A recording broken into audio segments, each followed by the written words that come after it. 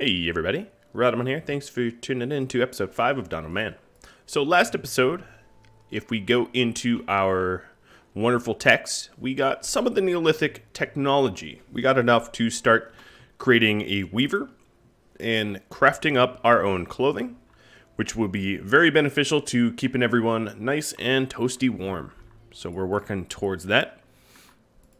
That will also mean that we're going to need to get the sheep domestication to allow us to get some wool. So that is also on the short list of things to do. So at the moment, we have enough tasks lined up that I am going to allow these guys to just sort of do nothing for a bit. Uh, if we go into F5 and check the workload, um, actually, no. I'm um, maybe, yeah, one person's wandering around. Maybe we do have time for a few extra tasks. A little bit of idleness will be good. It will allow us to clean up this crazy amount of barley that we have over here. And here we go. As you can see, they're starting to stack it all up. So this will be my first stables, and we'll soon have all of the storage tents needed to obtain the knowledge benefit from building 5. And 5 is probably all of the storage tents we'll really ever need And we survived another winter and obtained another milestone. Expansion. When that random person joined, we got 20 people in our community, and 20 was a milestone for this scenario. Awesome. If you're ever wondered, wondering about your milestones, the 5 key gets you there. So the next milestone will be unlock all Neolithic founder crops. Probably. Most likely. Oh, and here's a trader. Let's see what they have to offer. Sheep domestication at a high commission. Uh, this might be tough for me to buy. We'll see. I do have a lot of um, bows and the like to sell them. So it's possible, plausible even, that we'll be able to afford it, but it does come at a steep, steep price. Man, why do they why do they charge me so much?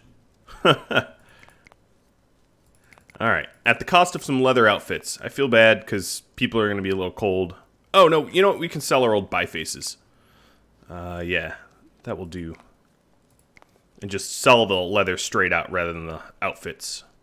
So let me...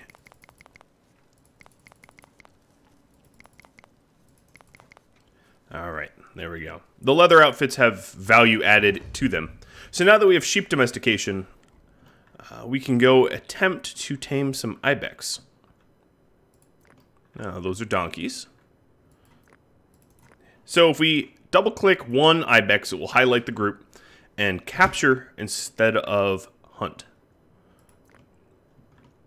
And we'll be restricted to capturing young ibex so look out for the bright, uh, the deep green ibex. The deeper the green means they're young.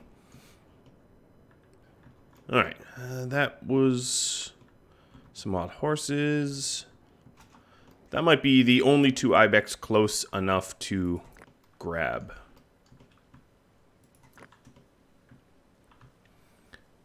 Bear, what about boar? I'm looking that I have some enemies. Ah, there's no real reason to get the boar. Now, because I had overworked them, there is straw and and grain from last season just sort of sitting out, which is not ideal. And due to the fact that it is springtime, the workload is probably about to jump drastically. So now that I actually have the sheep domestication, I can go and get something else with my um, with my technology. Hmm. Maybe megalithism. Try to help out some of the moods around the community. So the way megalithism works is you have specific mining nodes called megaliths, like this, and to queue one up, you just go ahead and mine that. And it takes a little bit of time, and what it will do is it will create a giant stone used to make spiritual construction. and that's the only purpose of a megalith. There are a few different types of spiritual construction objects. There's the menhir, as you can see, and then there's the the uh, dolmen, and then last but certainly not least, the stone circle. And all three provide spiritual needs for your people. I suggest building all three uh, for the variety so that they can regain the morale more efficiently and quickly.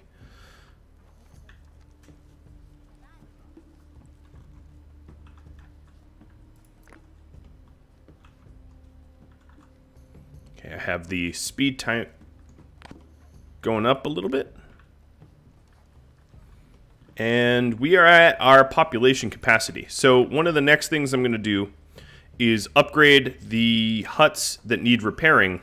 Well, you know what? I'm, I'm actually changing my mind on that. I'm going to build a hut straight away. So a hut is an upgraded tent. The tent's um, capacities are um, can be improved by building these huts. So I'll, I'll build a hut right there. When you upgrade a house, uh, dur during the duration of the upgrade, it is not usable as shelter, which means if, providing there is no storms or anything like that, uh, I wouldn't really take that much of a morale hit by upgrading one. But it is wise to uh, make sure that everyone does have shelter. So there is the hut. And as you can see, the hut has a separate knowledge built structure progress um, separate than the tents.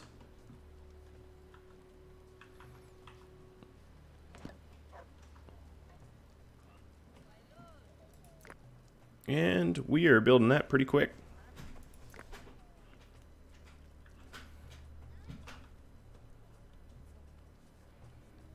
Now, because of the recent population boom, most of the dried skins that I had access to went straight to clothing, which is why these older tents um, are needing maintenance but aren't being maintained. So for me to get some more skins, I'm going to need to hunt some additional animals. And a harm already wounded wild horse is probably a good target. And I might, this specific um, human already has a bow we drive the horse into the water, and the moment it resurfaces, it collapses. And this will give a, a few skins.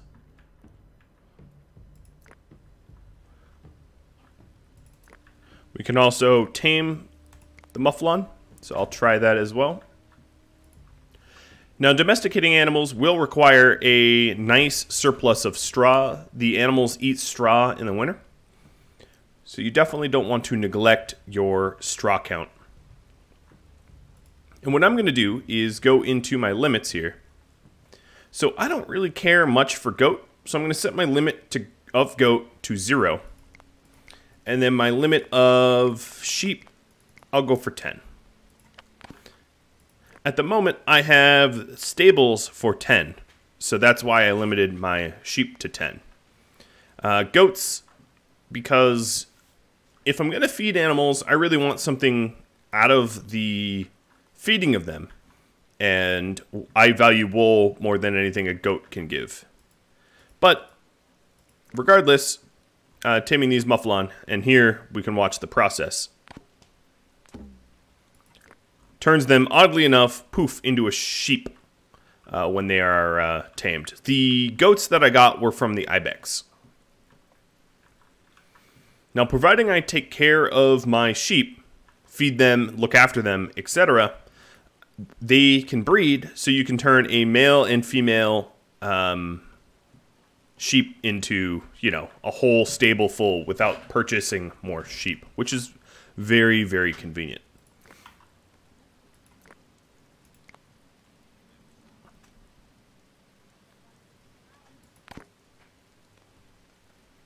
Now, some of the tents that need repairs have a really low condition, so they're the ones that I'm upgrading first in order to sort of um, refresh their uh, condition. And as you can see, the huts have a higher stability or higher durability, I should say, than um, the tents. So I get warned that my last goat has died. That was absolutely by design. Uh, we need to seek out more mouflon if we are to expand our sheep population. And I don't see any that are conveniently nearby. That's okay. We'll have opportunity in the future.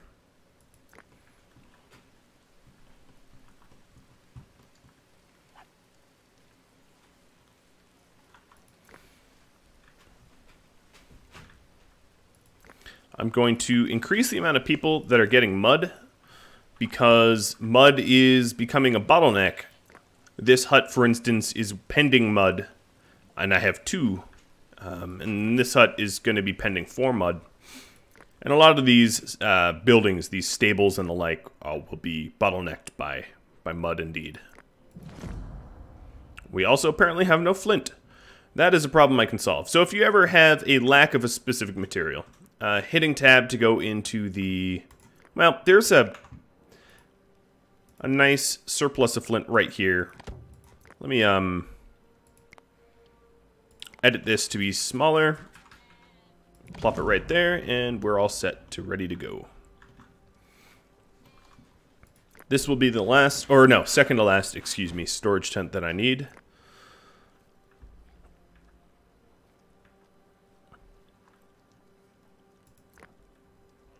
Now, as far as the sledges go, they do wear out over time, and I always try to keep an eye out to see how many idle sledges I have. So if I double click them, you can see that I have five sledges and none are currently in use, which means I really don't need any additional sledges. Um, if I double click them and they're all sort of gone and AWOL, it means that, yeah, I need to construct some additional sledges.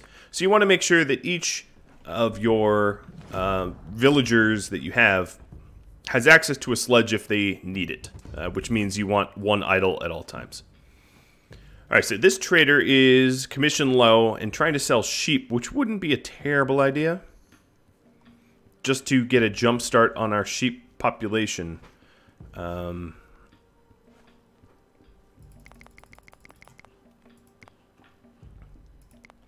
and what I'm going to do is sell uh, my older bone spears for that.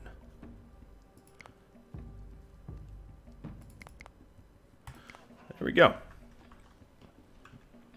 Trade complete.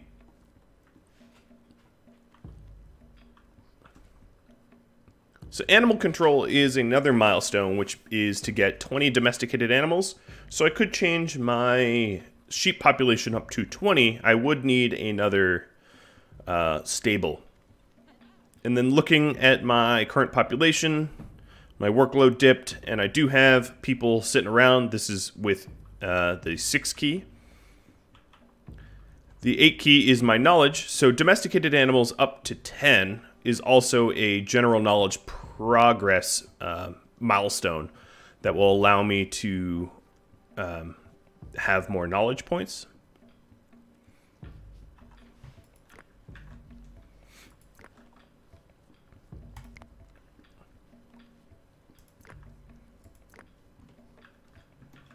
So at this point, I need to probably organize a bit of a hunting party. I am, at the moment, a little low on animal skins, and our food, I wouldn't say is dangerously dwindling, but it stands to be bolstered a little bit. So let's go select some hunters. Have them all rendezvous. Come on. Two older people they still have spunk left in them. And the Auroch I was aiming for definitely got spooked. They do fight back, but this one was older and therefore a little bit easier for me to take down. Checking around, we do have an adult Mouflon that's all set to go for. They're happy wandering around a bunch of flint farmers, but then the moment anyone moves towards them, they sprint. So instead, what I'm going to do is grab everyone that's standing here and... Oh, come on, man. I know you're hungry, but... No, his hands are full. He's like, nah, no, sorry. Not going to do it.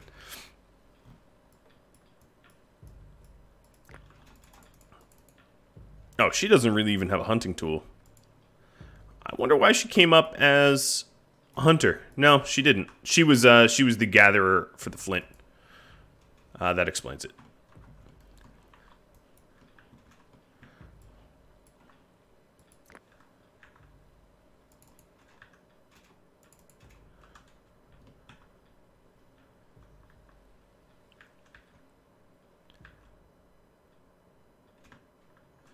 Let's see what we got. Just trying to efficiently hunt some animals.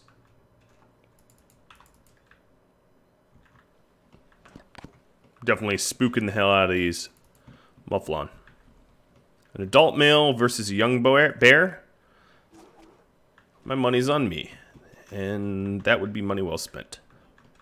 This young bear really doesn't provide a lot of resources, unfortunately. So here is my first storage tent I'm upgrading to its Neolithic counterpart.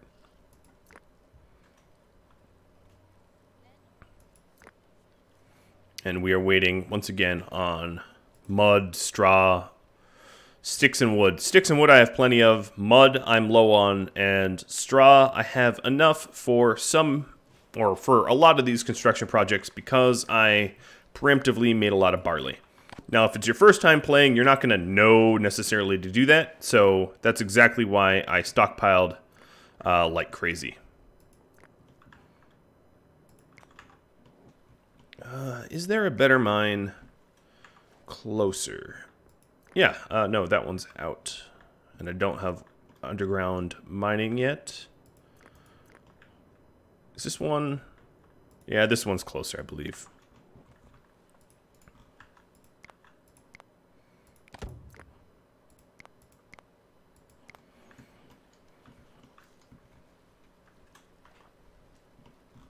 Now, if you're wondering why the stables aren't empty, uh, animals will only use it when they need to, uh, being winter and all. And here we have like an adult sheep that will get periodically sheared. And a young female. And the last one is a young male. So I do well, I do perhaps have a breeding pair, and I don't believe there's any concept of um, incest or anything of that nature in this game. So uh, you can go ahead and not worry about siblings breeding like that. Uh, so let's construct the first menhir. I'm not going to drag this uh, this megalith far, but the way to put it in place for construction is to create a uh, transport for it. It basically uses three leathers and three logs and sort of rolls it into place. And you'll have to do that for every um, megalith structure that you want to construct. I do have enough knowledge accumulated for yet another technology to be unlocked. And I'm going to go with underground mining. Underground mining allows you to convert these spent and exhausted um, uh, mining uh, areas, I guess, into usable um, mines once again. And I'll set that one up to be repurposed as such. So I just got my knowledge from my five storage tents. I really wouldn't have built five storage tents if not for the knowledge benefit. But there we go. My guess is Mud is a bit of a bottleneck because these banks have been tapped of all of its mud. So I am going to manually set up to extract mud from further banks uh, for now. Probably not permanent tasks.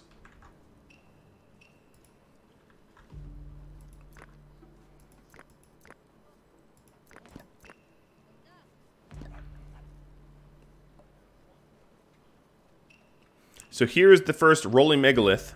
It just got constructed. Um, and the villagers will automatically haul that into place for this menhir. And I'm building a menhir not because it's the most efficient, it's just the cheapest. Um, so that way I'll get the knowledge return more quickly. The most efficient is the biggest one. The stone circle provides the most prestige and morale uh, for the least amount of resources. Two new humans have joined, making sure I do have tasks for them, and one dies. Ah, the circle of life. Three new humans joined and one died.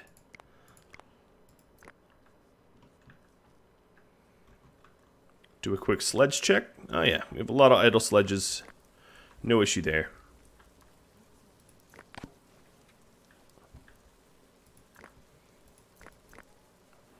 The granary here does look to only have one open slot, so it probably wouldn't be the worst idea to set up another one. And I'm going to put it right here. It does have the ability to store grain, so I can have this be the one focused more on grain. It's right next to the grain farm. And the menhir is constructed. And as you can see, it provides more prestige than uh, totems or skull poles.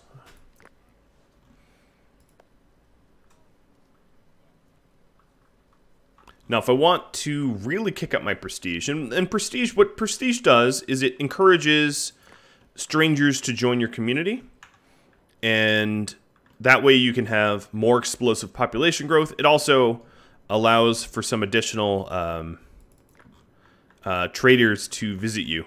Ooh, I want to hunt that woolly mammoth. Or a rhino, rather. Um, of course, it does. It is helpful to make sure that you have all the resources that you need because if you, um, let's say, stopped everything you you were doing and built a lot of um, high prestige objects like a few dolmen and stone circles, um, your population could feasibly, as long as you had capacity for it, explode and the net result of that would be um, that all of a sudden you would have a lot higher demand for clothing, for food. Uh, so it's not necessarily a good thing to grow faster than your uh, capacity for for providing for your villagers. Now, fortunately, there is a check and balance on that welfare. So as soon as you grow explosively, um, if there isn't enough food or shelter or whatever for your people, uh, they will be at least temporarily set up um, poorly. And as a result, a net result, your welfare will go down, and that will help to lower the attractiveness of your community to um, newcomers.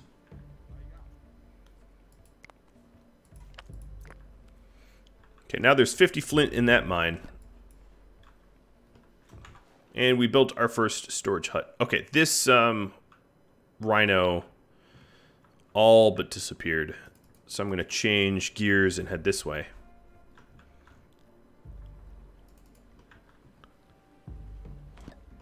And it's wounded. Oh, this will be easy.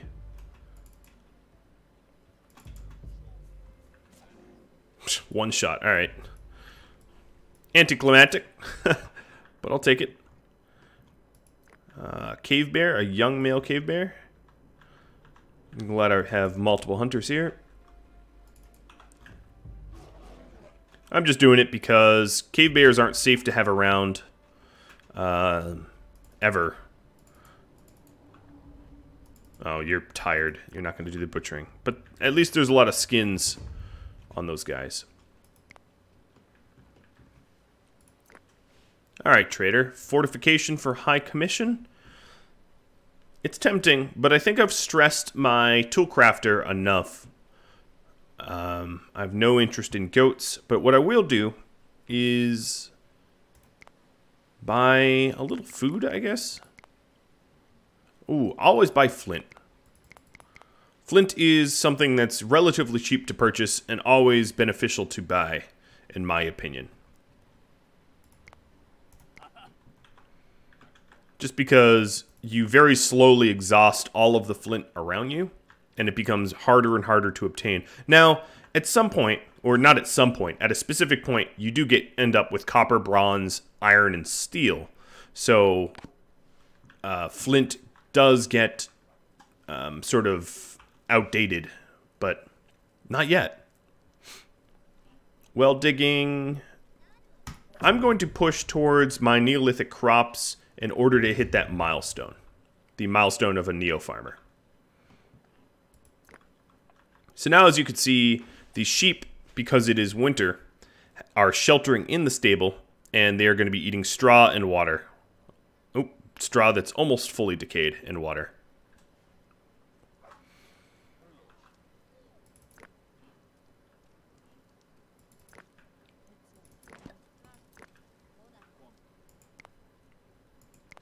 And I'm not actually going to do anything with the pulse domestication. Which seems a bit of a waste to get the technology but not use it.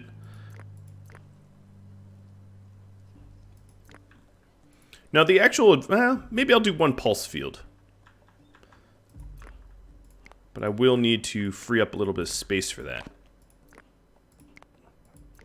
Seeing that I'm out of logs, that task also allows me to uh, to get some logs for free.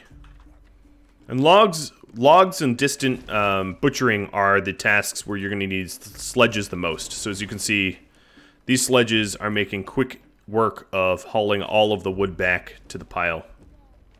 Whereas doing it one by one um, sucks. so going into the uh, three pulses that I have unlocked, uh, what I could do is put one teeny little field to be able to determine each one.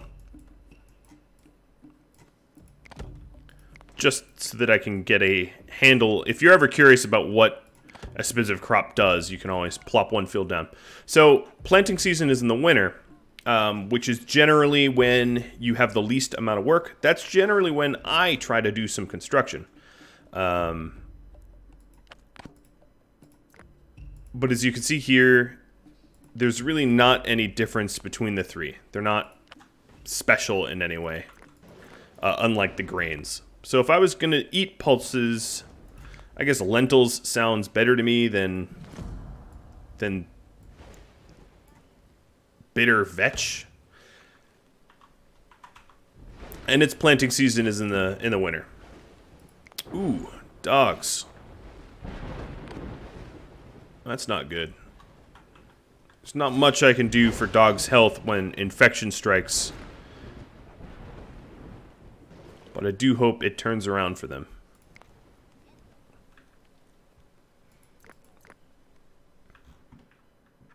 Right, dry skin seems to be a recurring resource I am lacking. So I am going to keep an eye out for high high yield targets like the woolly rhino.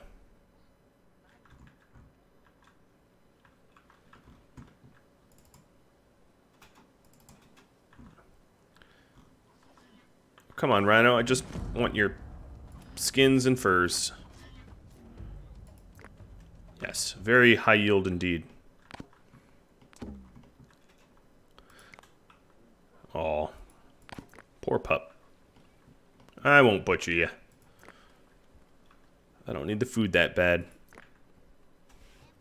Plus, I just don't really want to eat dog.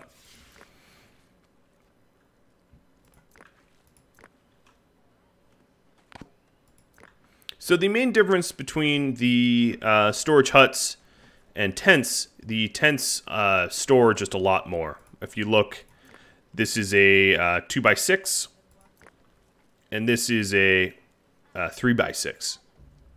And it also has a higher condition, so it falls to disrepair more slowly, just like the regular houses as well.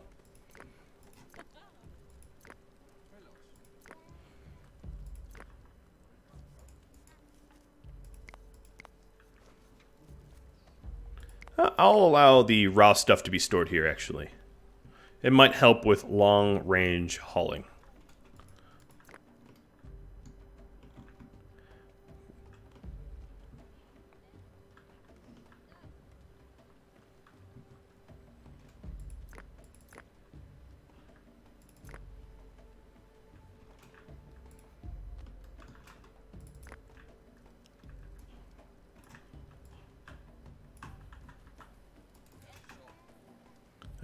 Them all grab bows. Sorry, horses. Majestic creatures, but I need the leather. As you can see, you can very easily spot the adults, the healthy adults, out of a crowd.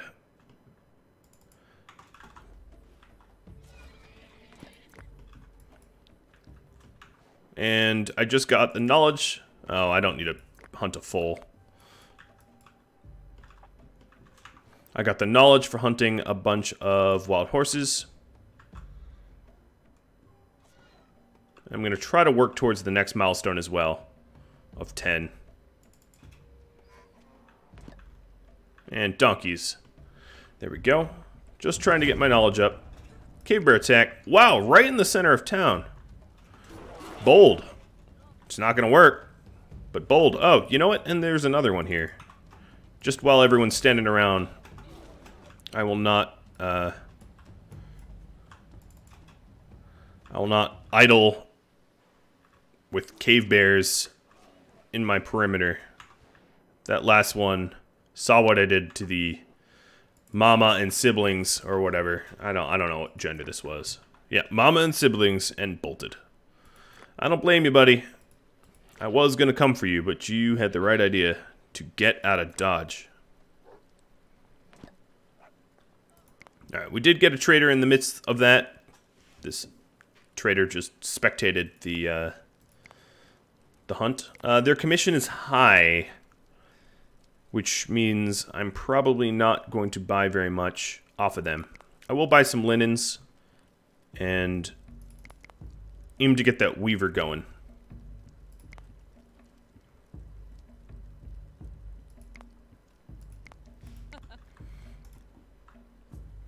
So that means that if I want to get a weaver, uh, we'll need to plop, plop a weaver down. That seems to be a good place. And then, oops, build, production, an outfitter. Have that sort of be the center of town, the commercial district, if you will. Whereas the crafter's right over here. And soon the uh, the skins and leathers will be somewhat obsolete. Hoping sooner than later. Yeah, the second granary was definitely helpful. And I have a full haystack, which is an indicator that I'm going to need another one. So that's in storage.